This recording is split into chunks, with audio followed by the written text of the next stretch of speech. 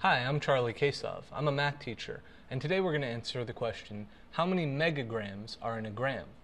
Well, one megagram equals one million grams. So, one gram equals 0.000001 megagrams. Or, if you need to use scientific notation, 1 times 10 to the negative sixth megagrams. Now the important thing to remember when you're dealing with megagrams is mega is 1 million.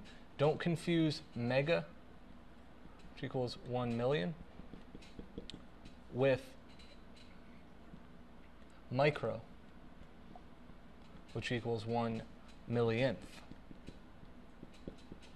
And when you're always make sure to capitalize, capital MG equals mega, whereas lowercase m, g, equals milli, which is 1 one thousandth.